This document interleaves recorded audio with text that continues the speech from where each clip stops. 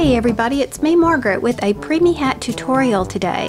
This is called the Quick Color Band Preemie Beanie. It's a pattern that I did ages ago. It's been on my blog, but I've never had a tutorial. And it's perfect for beginners. You can download a copy of the pattern on my blog if you don't need a tutorial. And also during this tutorial, I'm going to be teaching pattern reading as we read along and create the hat together. So let's take a look at it and see what we need to get started. Now basically any yarn will do because preemies come in a huge variety of sizes, but for this purpose, let's start with maybe one of these suggested hooks right here and two colors of worsted weight yarn. And when I, I'm not being specific here because no matter what you use with this pattern, you're going to end up with a preemie size.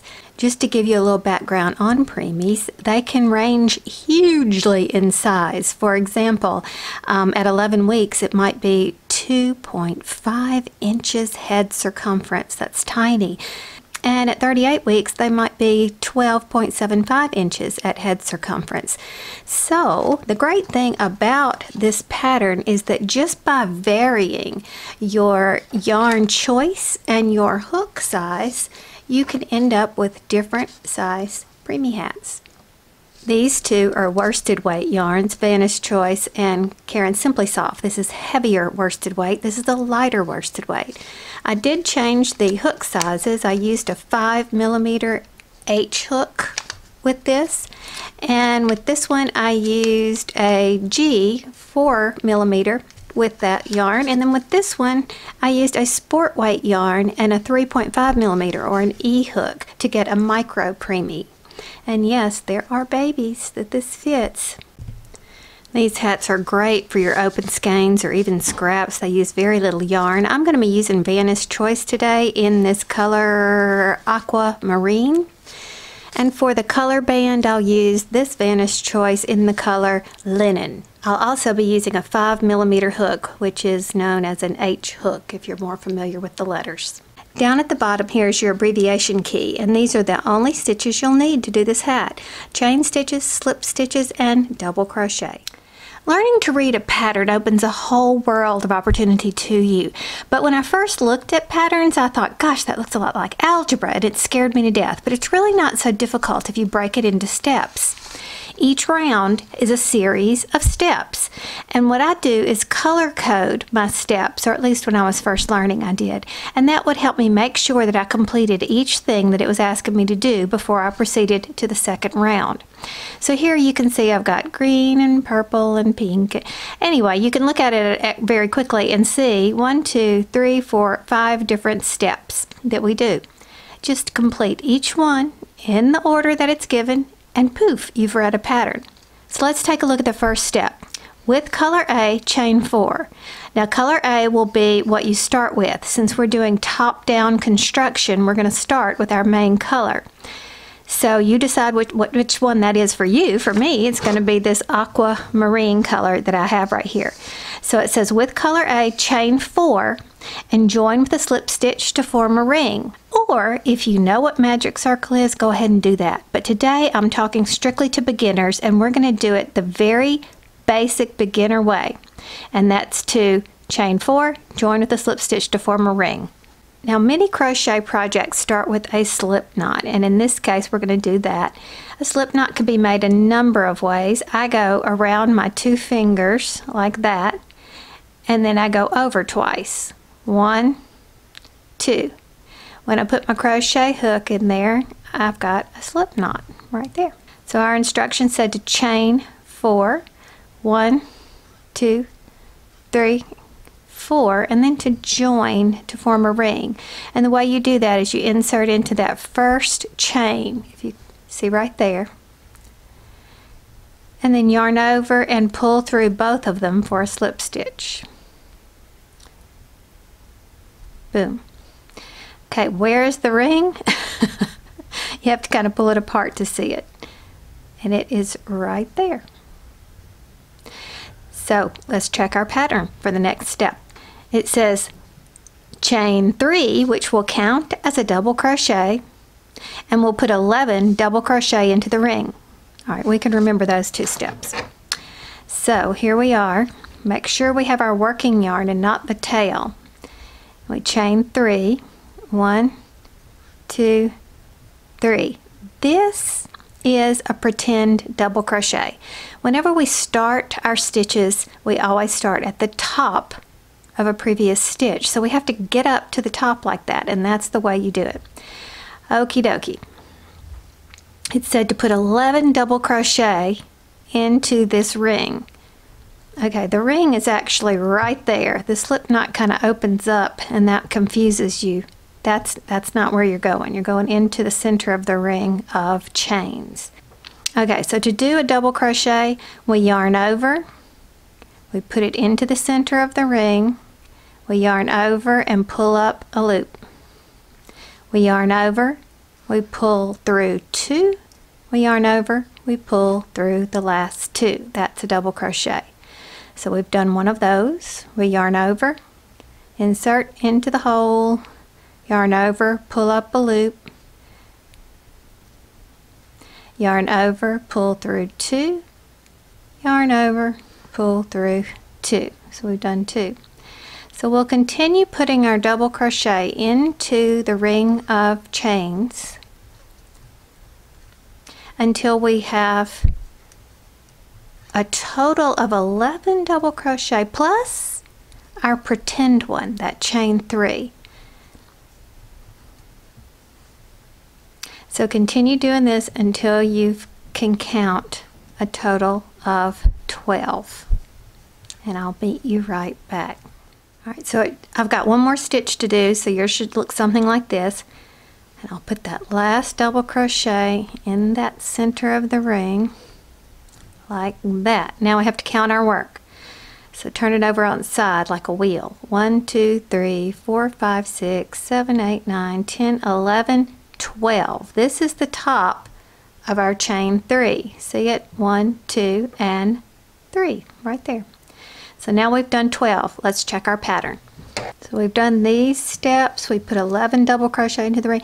Now we join with a slip stitch into the third chain at the beginning of the round. And when we finish, see this in parentheses? When we finish, we know we should have a total of 12 stitches. So what does that look like? All right, we know we're going into the top of this chain three, which would be this one right here. And there's lots of ways to do this. Some people just, you know, stick it right in the middle of it like that. But when you do it, you kind of have this line right there. And for some reason that bugs me. So I want it to sit up top the way all these other stitches are doing. You see how they're lining the edge of our wheel? That's what I want it to do. So sometimes I have to use the hook like that to grab the front leg and then I use the point to stick it through the other leg. It looks like that. And then a slip stitch, of course, is just to yarn over and then pull through everything. So there you go. Now there's something very important we need to address and this is a common mistake for so many crocheters. What we just did was we joined two stitches, okay? But they still look kind of like two stitches. But because they're joined, it's like they're married and we call them one. Let's watch this little excerpt from another video where I use two colors. So let's pretend our, our instructions said to double crochet 12 double crochet in the center and join with a slip stitch. So we did that and now we join with a slip stitch to the first stitch. Boom, no problem. But I want you to look closely at what's happening. Think of joining as marriage, okay? The cranberry stitch is marrying the gray stitch right here. Let's look at their wedding again. So we have two stitches that become one in holy matrimony. Okay, so now think of, thinking of this as one stitch, it looks like it's got two parts, right? We often get confused and think of these as two separate stitches because they sort of pull apart. But that's not the case. They're one. So even though our hat is only one color, the principle remains the same. If you want to see that previous video in its entirety, I'll put the link below. So let's continue on with the pattern. So I've color coded round two. We've got one, two, three, four steps in round two. So let's break them down. The first one, chain three, that's going to count as a double crochet. That's our pretend one again. And we're going to double crochet, do one, one double crochet in the same stitch. Hmm, now let's just, just do those two and see what that looks like. All right, so here we have our work. We're going to chain three, one, two, three, and then we're going to put a double crochet in the same stitch. Now, just what we learned, we've got two partners that have joined to make one stitch right here. So, at the base, we'll need to place that double crochet. Well, this would be the base of this joined stitch, right? So let's yarn over, put our double crochet right in this base right here, like that. So now we technically have two stitches in the same stitch, don't we? We have that pretend one and we have the double crochet. Okay, good for us. Let's see what's next. Two double crochet in each stitch to the end. And then we join with a slip stitch into the third chain at the beginning of the round like we did before. So two double crochet in each stitch to the end. So we've just completed, so you can move things around so you can see. We put it in the base. It's right in this stitch. So our next stitch is right here beside it. So we double crochet in there. That's one stitch. And then we do another one in that same stitch right beside it. So see what you've done? You've got two in this joined stitch, one, two, and we have two in the stitch right beside it. So we keep going. What we're doing is making an increase round. Now in this case we're doing two stitches in every stitch that we have. So we're doubling the amount of stitches that we have in our circle. We had 12 when we finish we should have 24 so I'll leave you to finish this task and I'll meet you back before the join. So I'll have my last stitch to insert the two double crochet. And you can see what's going on there. There's the last stitch this was the partner of the join remember? But we've already addressed that one so we only have this one to do. So there's the first one in that stitch and here's the second one in that stitch. Good. All right now when we finish we're supposed to join to the, to the top of the chain three which happens to be right there. See? One two, three chains. And you can do it however you like, but for some reason I just feel the need to get it under both of those legs. And that's the way I like to do it.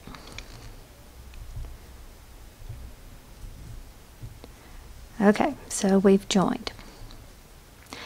How many stitches should we have over here? So you check your pattern and it says 24 stitches. So when you count, if you don't have 24 stitches, then just rip it back and fix it. Figure out what you did wrong.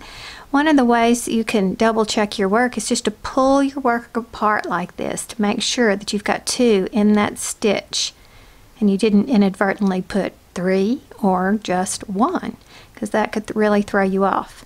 And of course, another one of the common mistakes is counting that joined stitch as an additional one and we know it's not. Alright, so I'm putting this back together and let's see what we do for round three. Alright, we got a new pattern reading skill to learn in round three. Well, first of all, this is the same. Chain three because it counts as one double crochet and then do two double crochet in the next stitch. Let's just do this and get it out of the way. Chain three and two double crochet in the next stitch we know exactly what we're doing with this. Two, three. Okay, here is that stitch we're working in, the joined stitch. So the next stitch would be this one. So let's do two and the one beside it. Note that it did not tell us to do it into the same stitch. It said to do it in the next stitch. Okie dokie. So we've got that done. So we look back at this pattern and we see asterisks that say one double crochet in the next stitch and two double crochet in the next stitch repeat between the asterisks to the end. All that I've underlined in pink because it's kind of one collection of, of activities. Okay, so we go one, then two, one, then two. So it'll look something like this, repeating till the end. Here's the next stitch. So we go one, and then in this stitch we're going to do two. So that's one double crochet and then in the same stitch two double crochet. See how we've got one then two? Now let's do it again. One in the next stitch followed by two in this stitch. There's the first one and in the same stitch is the second one. So you can see, let go, you can see our, we started pretty much the same way. That's one in this stitch, and then in the next stitch we did two.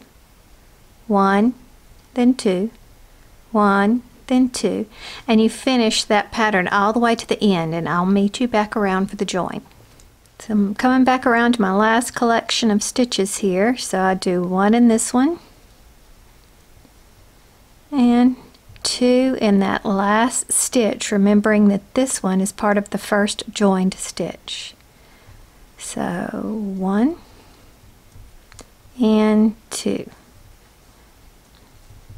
And then the instructions were to join at the top of the chain three. So one, two, three. That would be this one. So yarn over and pull through both. So there's the join and there's the end of round three. So you'll want to check to make sure that after you completed round three you had 36 stitches and if not go back and see what you did wrong. Alright, so here we're beginning round four. One, two, three things we have to do, and we're still going to have 36 stitches when we finish. So that means that this is not an increase round. So let's see what we do. We do that chain three, and I'm just assuming you know that it counts as a double crochet at this point. And then look between the asterisks. This was our repeat. Repeat until the end. We just do one double crochet in every stitch around. Well, that's pretty easy. Chain three and then one double crochet in every stitch around. And then we join with the slip stitch to the top of the chain three as we always do. So that looks like this. The chain three fake double crochet that starts us off. Okay, here it is. And it's joined stitches. So this one would be the next stitch. Not here, but here and we put one double crochet in each previous stitch all the way around. And when you finish you should have 36 so I'll meet you back at the join. So I've got one more stitch. See I've completed this one. There's that first the first join right there. So I'll put that last one in and then I join with a slip stitch to the top of the chain three which is right there. Now you'll notice it starts to curve. Okay, that's exactly what's supposed to happen. Your first row after the increases will start to form the sides of your hat. Round 5 gives us pretty much the exact same thing we did the last time, but we're going to do it with color B. So with color B, chain three, counts as double crochet, one double crochet in every stitch around. And then we join with a slip stitch. So it's the same thing, we just get our new color. So how do we do that? Lay your new color over your hook and then pull it through. And all that is, is attaching it, okay? So now we chain three, one, two, three. And if you notice that this thing, the blue right here, is starting to show, just reach back here and yank it. And when you do, it looks like you're planting your new color in, like that. All right, so we did the chain three right there in the join. Let's see, these are the two parts of the join, this part and this part. So here's the next stitch. Yarn over, pull through, yada, yada, yada, yada. You know how to do that. And we continue all the way around just as we did before, but with our new color. And we'll even join the exact same into the top of the new color. So I'll meet you back around. So I have my last double crochet to put right there. And the instructions said to join at the top of the chain. But look, this is getting kind of loosey-goosey. But I have control over it back here. If I need to hide the blue, no, my blue looks good, but if I need to, I would tug on that aquamarine. But this chain right here, the bottom chain, look, looks a little bit loose, so I can just pull on it a little bit back there. That's better. Okay, so I'm one, two, three. I'm joining in the top of the chain three.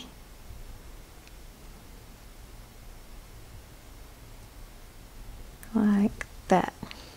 Oops, look, that's the tail. I don't want the tail. I want to make sure I got the working yarn to do the join.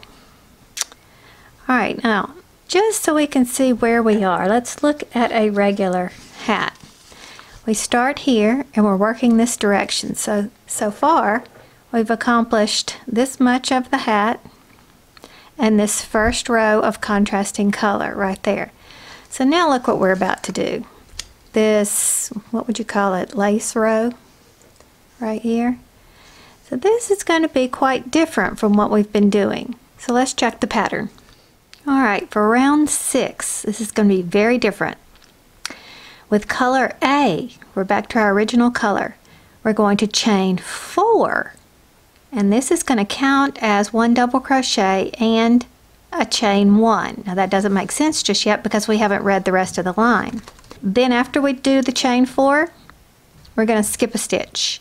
And then we'll do this repeating part. Okay, so let's make sure we know we're going to color A, chain four, we're going to skip a stitch and put one double crochet in the next stitch and a chain one. Skip a stitch. One double crochet in the next stitch, chain one, skip a stitch. And we're going to keep doing that until we get to the end. So let's stop right there. Let's see what that looks like. So with color A, make sure you get your working yarn of color A. We didn't cut it. It's still there. We just bring it up. Let's go ahead and attach it and I want to hide that other color with right, that chain right there. So I'm pulling on my working yarn and there it goes down. It might wiggle up again, but we remember we have total control over that and we can wiggle it down, pull it down. All right, so we're chaining four. One, two, three, four. And then we're going to skip a stitch, that's this one, and we're going to double crochet in this one. And this is what we repeat all the way around. Chain one, skip a stitch, double crochet in this one. Double crochet, end with a chain one. Skip a stitch, double crochet, and end with a chain one. So now is it making sense why we did four? Because it counts as your double crochet, your pretend double crochet right here, and the chain one. Double crochet, chain one, double crochet, chain one, all the way around as we remember to skip. Did I do my chain? Yes, I did. Okay, skip, double crochet, chain one. Okay, go ahead and do this double crochet, chain one, skip a stitch all the way around. I'll meet you back. Alright, so I just did my last stitch chain one. I'm going to skip this one and I'm going to put the last stitch right here. And I'm going to chain one. And then let's go back to that pattern. For round six, it tells us to join with a slip stitch at the top of chain three and finish this slip stitch with color B. So that's different than what we've been doing. So we're just going to do a slip stitch, but we're going to finish it with the new color. So what does that look like? All right, here it is. This is our chain four. One, two, three, four. We want to do in the top of the chain three so that we will have that chain in between our stitches. And now let's move that aquamarine out of the way and pick up the working yarn of the other color and finish the slip stitch with it like that. Now do you see how we've got this window pane looking thing going on just like in the other hat. So let's check the pattern. What's next? Okay, we're on the next to the last row, round seven. With color B that we just attached, slip stitch into the chain one space. Hmm, that's different. And then chain three. So we're going to slip stitch into the chain one space and chain three. Let's stop right there and do that. All right, so here we are like this. We haven't chained anything. We just merely finished off the last stitch, didn't we? So we're going to slip stitch into the chain one space like this. Put your hook into the chain one space, yarn over, pull it up and finish it off and you've just slip stitched into the chain one space. One more time. Boom. Okay. What did the pattern say? Now we're going to chain three. So there's our slip stitch. One, two, three. Okay, so essentially what we did was we moved our pretend double crochet over to be inside the space. Now let's see why we did that. Let's look at this hat because it's bigger. See what we've got here. The top of the hat, the top of the hat, that alternate color, the alternate color, the window pane commotion, the window pane commotion, and now look carefully at this. Do you see how we're putting two double crochet in each of the spaces? Okay, that's why we had to do that slip stitch is so we could get over into the space. We did the slip stitch and chained three and next we do one double crochet in that same chain one space. Okie dokie. So yarn over in the same space, do your double crochet. Instead of inserting your hook into a stitch, you just insert into the space. And you can see what we got going on. There's two in the space. And just as you may have expected, what we're going to do next is two double crochet in the next chain one space and repeat the same thing all the way to the end. Okay, so two in every chain one space. Here's the chain one space we go inside it to do that double crochet. Do it again.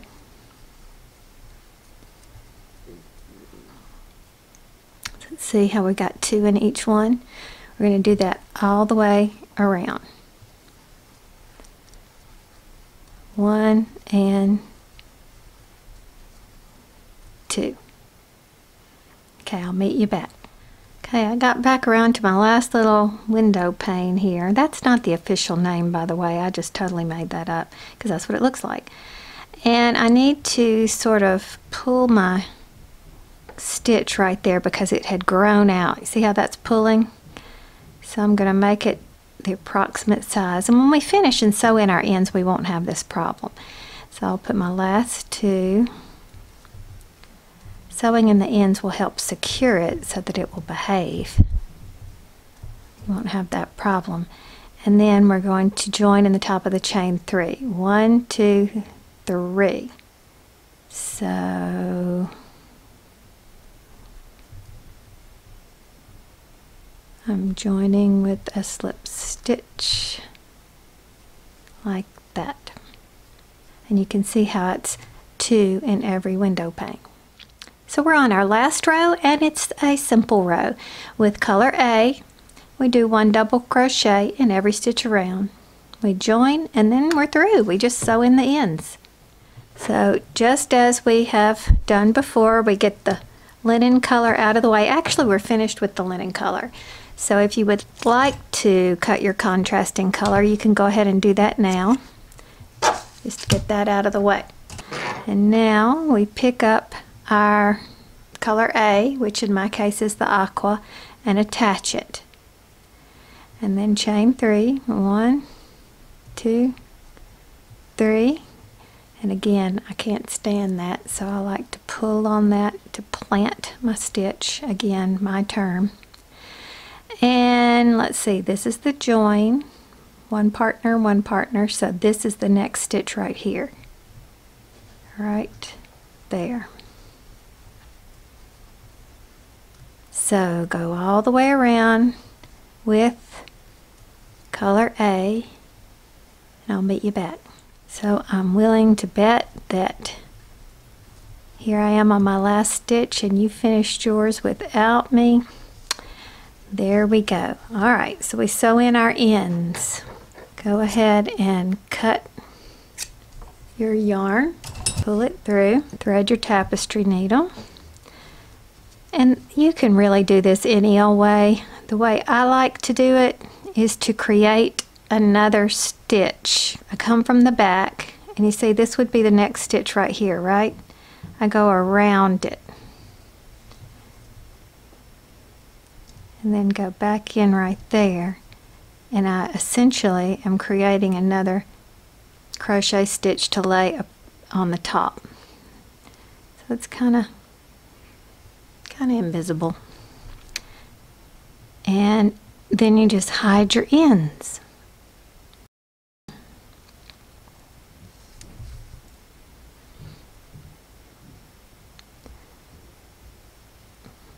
I kind of just weave it all around in there. Sometimes I split it because that adds a little bit more friction. And there you go. Now you do these ends the same way, but let's look right here at the circle. I like to see which direction my yarn's coming from, which looks like it's going around here and coming out here. And then I feed it through the circle.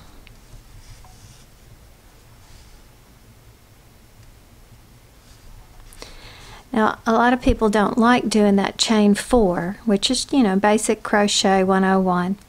A lot of people will do a magic loop. I have a modified version that acts as a magic loop that I use, but it's not really magic loop because I can't ever remember how to do magic loop, but it works the same. And the benefit is this can be completely closed, but this is fine. Especially if you're going to put a pom-pom on top your hat nobody would ever notice it. Okay, I finished sewing everything in. So I'll turn it right side out and there's your little hat. Perfect. Now, some things you can learn in the future would be how to, look at this back. Do you see how loose this is where the join was? That's because a chain three is skinnier than a regular double crochet. So you can learn how to make this seam more invisible by doing things like a standing double crochet or sometimes people use filler stitches. So I am considering talking about that here in the future, how to improve the, the look of this stuff in the back. You can also be on the hunt for a magic circle tutorial which makes this go away or look at any of my other tutorials to see my version which is a little bit simpler but achieves the same thing. But there you go. Thanks for watching. Bye.